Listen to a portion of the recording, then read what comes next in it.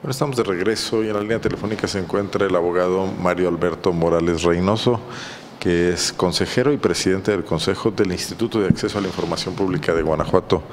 ¿Cómo estás, Mario? Buenas tardes, gracias por aceptar esta llamada. Eh, buenas tardes, Arnoldo. Bien, gracias. Y saludándote a ti y a, todo tu auditorio. Pues decidimos, gracias, ¿eh? decidimos recurrir a ti porque vimos que las páginas de acceso a la información usuales en Guanajuato, que recurrimos mucho los medios de comunicación, pero también los ciudadanos, pues están funcionando, digamos, de manera problemática, en algunos casos no funcionando, eh, sobre todo gobierno del Estado, municipios, y vimos alguna información de que pues esto se debía a los cambios en la legislación y derivado de esto un nuevo sistema de acceso a la información pública. Mario, ¿qué nos puedes decir?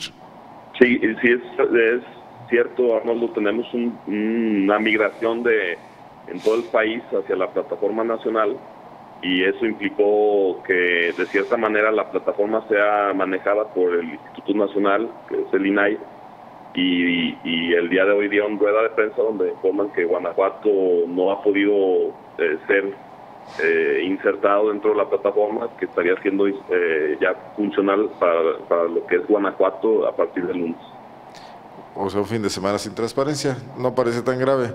Pero también tenemos el hecho de que aquí no hemos adecuado la ley. ¿Esto tiene que ver, Mario?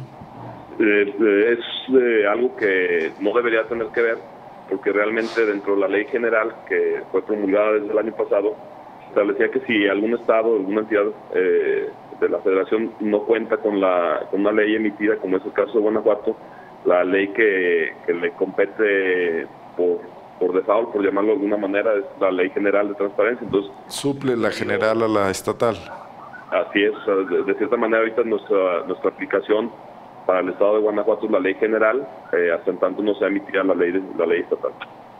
Bueno, ¿Qué modalidades contempla o qué cambios hay en base a esta normatividad general que me imagino que la nueva ley estatal cuando esté lista tendrá que replicar aquí? Pues sí, bueno, básicamente la modalidades son eh, el incrementar las, obligaciones de transparencia y estamos hablando de que son cerca de, eh, alrededor de 40 eh, funciones o, incisos pues, de, ley que tienen que ser vinculados como, como obligación de información pública de oficio y, y, de cierta manera también se incluyen obligaciones especiales a los organismos autónomos, a los sindicatos, a los... Los partidos. ¿o?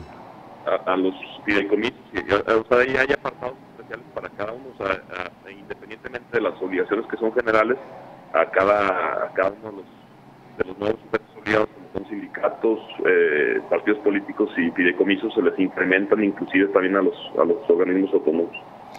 Mario, eh, ¿ya se tendrá la modalidad de recurrir al, al ámbito federal cuando en lo local te nieguen una información en las dos instancias? Sí, eh, de hecho es una, una, opción del ciudadano, pero, pero también es una opción del INAI admitirlo o no. Eh, de repente he leído algo de información donde donde ya dan por hecho que, que en automático puede ser recurrido ante la ante la instancia federal o nacional, en este caso como ya se le llama, pero no, no es así. Eh, hemos tenido capacitaciones por parte del INAI en el sentido de que dice que solamente van ellos a, a, a atraer a sus a su jurisdicción los asuntos que sean de carácter relevante, que, realmente haya una violación importante a, las, a los procedimientos de las leyes. Eso no es, no es todos los asuntos pueden ser eh, validados allá. O sea, eh, litigas ante el INAI si eres una, un ciudadano en un estado y te han rechazado eh, la, tu pregunta en la primera instancia, que es la oficina de la dependencia a la que te diriges, y luego en el YACIP pero de entrada el INAI puede no admitir tu eh, queja o, la admite y te la rechaza en un momento dado si no tienes eh, la razón. Sí, de lo que ellos nos han explicado, que, están respetando lo que es la, la, entidad federativa, o sea, están respetando la, autonomía del Estado en el sentido de, de, respetar las resoluciones de, que se puedan emitir por el, por el, en este caso por el IACIP, pero si hubiese alguna que para ellos les llamara la atención, ellos pueden atraer esa resolución ya sea en forma oficiosa o en forma... Eh, ¿Están monitoreando entonces las consultas?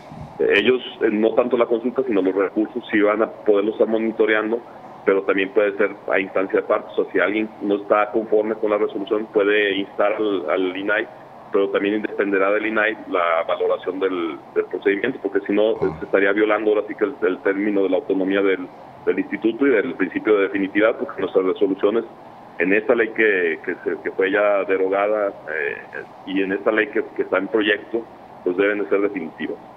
O sea, digamos que para el día de hoy la ley estatal está derogada. Exactamente. Tenemos que hacer una nueva ley. ¿Qué, ¿Qué, le pasó al Congreso? ¿No fue tiempo suficiente para que discutieran y aprobaran la nueva ley en el plazo del 5 de mayo? La, propuesta la, la, hicieron el día 17 de marzo, se envió una iniciativa de ley. Hace apenas... la, firmaron, la firmaron todos los magistrados del Poder Judicial, la firmaron los diputados y la firmó el gobernador. Hace 10 días, o sea, ya, ya barriéndose en el plazo. No, Ah, 27 de marzo, perdón. Hace un mes, más de un mes. Estamos hablando de un mes y casi casi 20 días, un mes, 20 días, 50 días. Y pues yo realmente no conozco los procedimientos que, se manejan en el Congreso. No sé qué sucedería, pero bueno, eh, insisto mucho, no estamos sin ley porque nos está aplicando la ley general. Muy bien. Mario, eh, el lunes se restablece y veremos ya todo normal en los portales de transparencia. Eh, sí, o sea, eso fue lo que dijo hoy en rueda de prensa el INAI. Eh, salió una rueda de prensa donde explicaban que... Aunque todavía no haya ley, porque parece ser que la quieren hacer en lo que resta de mayo. Eh, sí, se leía una nota que hablan de lo que resta de mayo. Yo yo estaba leyendo también que en el Congreso hoy tienen mesas de trabajo respecto a la, a la a la legislación en transparencia. ¿No es nada más una homologación de la federal con la estatal o hay que ver matices locales? Mm, hay que, no, no, tiene que ser homóloga, tiene que tener ciertos matices, pero eh, quiero platicarte eh, que ya, ya la propuesta de ley ya fue eh, analizada por el INAI y ya fue... Palomeada, digamos. Así es, o sea, ya realmente la iniciativa nada más estaba para lo que son los trabajos legislativos. Hay ciertos detalles que pueden corregirse, por ejemplo, en esta ley, en la propuesta que se había presentado, no venía el plazo de, resolución de los, de los recursos por parte del instituto.